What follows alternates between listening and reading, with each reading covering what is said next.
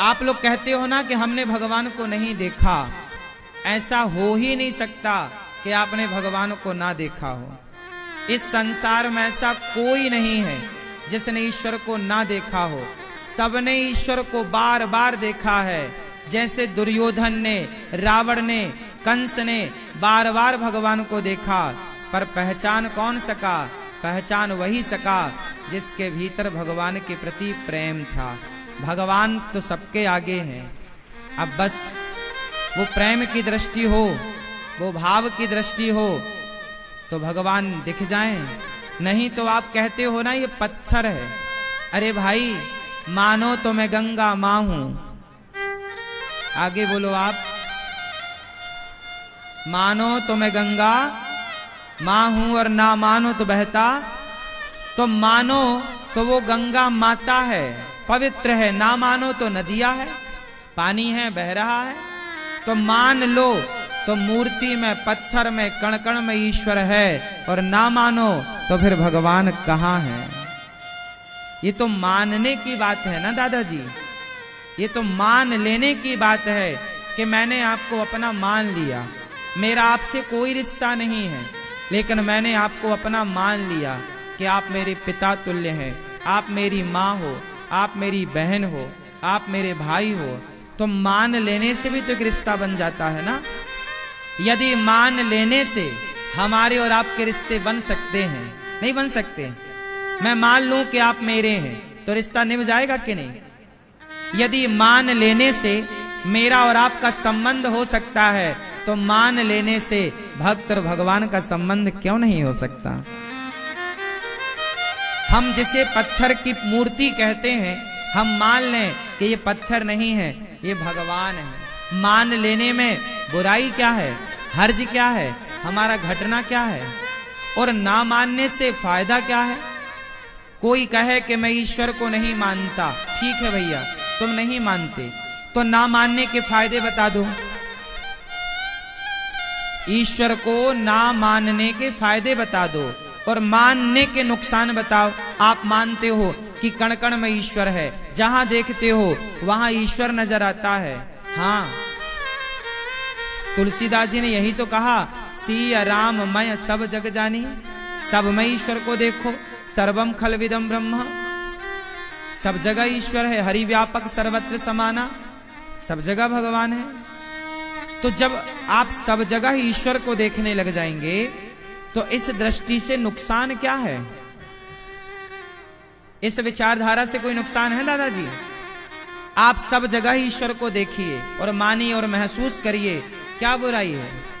और कोई कहे, मैं मानता नहीं ईश्वर को तो तेरे ना मानने से फ़ायदा क्या है? जब ना मानने से फ़ायदा नहीं है, मान लेने से बुराई नहीं है, नुकसान नहीं है तो फिर मान लेने में ही भलाई है। बहुत लोग कहते हैं कि मैं ईश्वर को नहीं मानता। मैं परमात्मा को नहीं मानता। ठीक है, आप मत मानो। रावण भी तो नहीं मानता था, राम को। तो ना मान करके कौन सा उसका फ़ायदा हो गया? इसलिए, और विभीषण ने मान लिया कि ये भगवान है। तो देखो, लात मार के निकाला था रावण ने, जिसे वही लंका का राजा बन गया। भगवान जब कृपा करते हैं ना तो रंग को राजा बना देते हैं। और जब व्यक्ति अपने रास्ते से भटक जाता है तो राजा को रंक बना देते हैं। क्योंकि चाबी तो ईश्वर के हाथ में है, छह चीज़ें भगवान के हाथ में है। मेरे संग बोलो, हानि बोलो हानि, लाभ, जीवन, मरण यश, अपयश विधि हाथ विधि मतलब विधाता भगवान। हानि, लाभ। ये ईश्वर के हाथ में है। कर्म आप करो, खूब मेहनत करो, खूब पैसा कमाओ।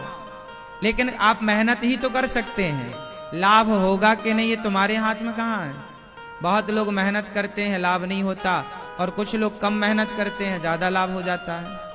तो ये हानि लाभ ईश्वर के हाथ में है। हानि लाभ। जीवन मरण। आप कब तक ज़िंदा रहेंगे, कब मरेंगे, ये ईश्वर के हाथ में है। मृत्यु ईश्वर के हाथ में है। और यश अपयश आपका कितना नाम होगा, आप कितने बदनाम होंगे, ये सब ईश्वर के हाथ में है। आपके हाथ में क्या बचा? ज़ोर से। क्या बचा आपके हाथ में? ये हमारे पुरुष वर्ग बताएँगे दादाजी और हमारे भैया जी। बताओ भैया, आपके हाथ में क्या बचा? जब जीवन, मरण, यश अपयश हानि, लाभ ईश्वर के हाथ में है तो आपके हाथ में बचा क्या? ज़ोर से। क्या बचा? एक चीज़ बची है, हाथ ना मटकाओ ऐसे। एक चीज़ बची है, कर्म। क्या बचा है? क्या बचा है? ज़ोर से। ये हमारे भैया लोग बोलेंगे, क्या बचा है? कर्म। गीता में लिखा है, कर्मण्यवाधिकारस्ते माँ फलेसु कदाचन। कर्म कर। हमारे हाथ में जीवन मरण तो नहीं है, पर जब तक ईश्वर ने जीवन दिया है, तब तक अच्छे कर्म करना हमारे हाथ में है। हानि लाभ हमारे हाथ में नहीं है, पर अच्छी विचारधारा के साथ अच्छे काम करना अच्छा कर्म करते रहना, ये हमारे हाथ में है। भगवान कहते हैं, जो कर्म करता है, उसके जीवन को मैं परिवर्तित कर देता हूँ, बदल देता हूँ। अच्छा बताओ, भाग्य बड़ा होता है कि कर्म बड़ा होता है? हा? ज़ोर से। भाग्य बड़ा कि कर्म बड़ा? लोग कहते हैं, हमारे भाग्य में नहीं था, हमारे भाग्य में नहीं था। सारे लोग रोना किसका रोते हैं। सारे लोग रोना भाग्य का ही रोते हैं। लोग किसका रोना रोते हैं? भाग्य का। अरे हमारे तो भाग्य में ही नहीं था। भाग्य का रोना मत रोइए। जो व्यक्ति कर्म करता है, अच्छे कर्म करेगा। जो व्यक्ति कर्मठ है, कर्म करता है, मन लगा के अपना काम करता है जो कर्म करता है, उसका भाग्य भी उसका साथ देता है। अच्छा बताओ, पहले कर्म बना कि भाग्य बना? पहले कौन बना? ज़ोर से। क्या बना? कर्म पहले आया। कर्म कितने प्रकार का होता है? कर्म तीन प्रकार का होता है। कितने प्रकार का? गिनो। संचित। बोलो संचित। क्रियमाण और प्रारब्ध। ज़ोर से, मेरी माँ, बैटरी डाउन हो गई क्या? आज व्रत है आपका। मैया, नवरात्रि व्रत चल रहे हैं क्या? कर्म तीन प्रकार के होते हैं। संचित। क्रियमाण और प्रारब्ध, जिसे आप भाग्य कहते हैं, भाग्य। अब मैं आपको तीनों की बात समझाता हूँ।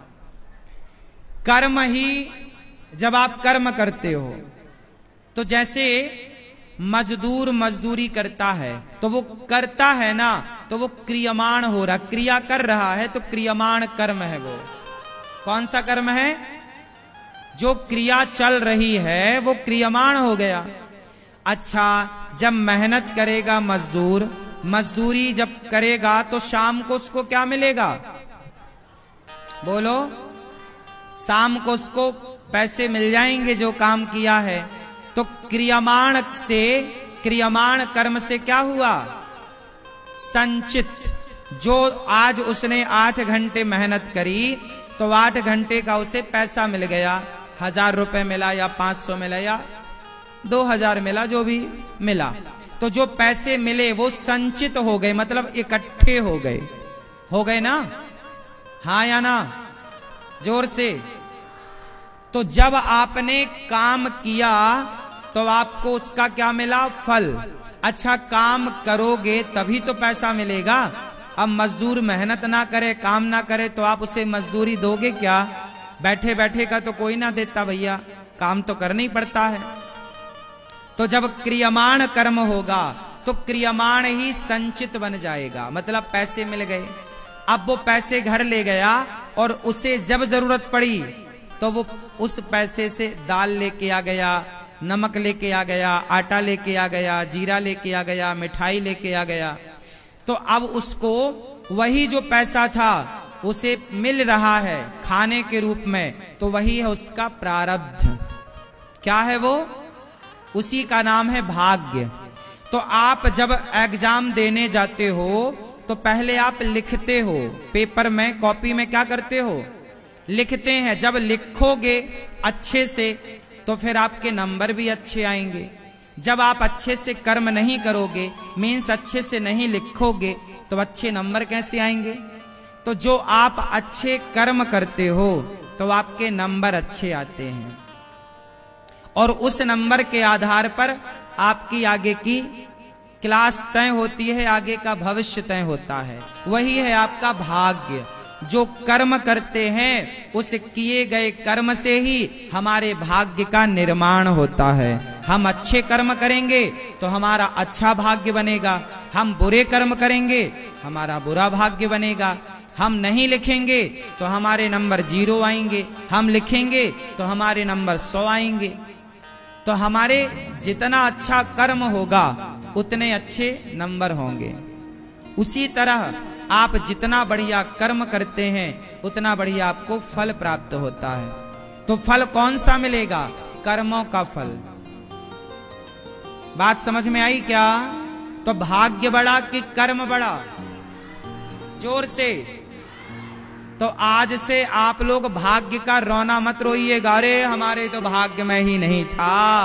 ये भाग्य का रोना वो लोग रोते हैं जो मन लगा के कर्म नहीं करते, काम नहीं करते। काम करोगे तो भाग्य का रोना नहीं रोना पड़ेगा। भाग्य तो आपका गुलाम बनेगा। भाई, भाग्य तो कर्मों के अधीन है ना साहब? हाँ या ना? कोई कर्म ही ना करे। तो कौन से भाग्य का निर्माण हो जाएगा? इसलिए कर्म करना ज़रूरी है।